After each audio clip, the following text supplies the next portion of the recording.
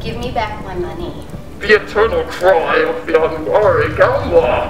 When he or she realizes that luck was Skip the charm. It does not fly with me. bye bye, aren't we hostile? Trust me, you haven't begun to see hostile, but you will if I don't get my money back. And you're not really here for the money. Then why am I here? You like me, Stacy. You just don't want to admit it yet. Fine. Fine. You're handsome in an offbeat kind of way, and you actually make me laugh when I don't remind myself not to. What's wrong with laughter? Too much laughter leads to tears.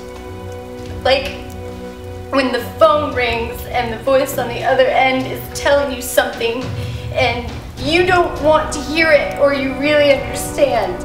All you know is that the laughter and the fun and the crazy times are over because they're telling you he's in the ER and he's not expected to live and if he does, he wish he did.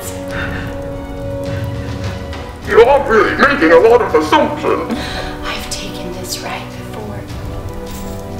I barely survived the crash at the end. There is no way in hell I'm getting on for another trip. Not now, and not with you. And cut. Scene. And scene. And then like turn around. So they know it's over. That was really good. And that concludes my audition for the role of Stacy. Again, my name is Kimmy Kim. I think that I would play really good Stacy because, um, well, she, since she's a bad girl, uh, I am a bad girl too. I'm not an actor. Acting is me. That was so good. That's good. Don't look too long.